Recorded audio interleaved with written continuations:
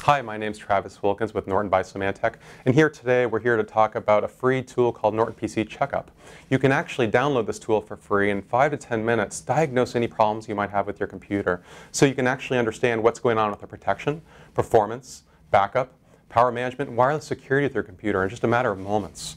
Uh, with protection, you can actually find out whether you have any viruses or spyware on your computer. And if you do, we give you tips on how you can actually uh, get rid of them. Or if you need help, you can contact us at a service called Norton Live Services, where we remotely connect to your computer and can actually fix the problem for you, available 24 hours a day. We also tell you in the report card the performance. So oftentimes computers will slow down over time, and we don't necessarily know why, but we'll actually tell you what's going on with your computer with performance and give you tips again so you can speed up your performance.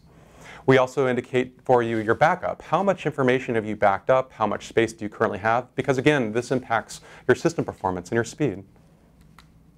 We also give you tips about power management. Not a lot of people realize it, but it requires a lot of electricity to run your computer, and you can actually save around $75 a year in electricity costs by managing your power settings, and we give you tips about that.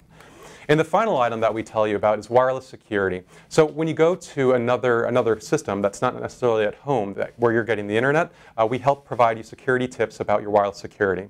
So go to norton.com backslash free checkup and you can get this free tool and find out uh, any issues you might have with your computer. Thanks.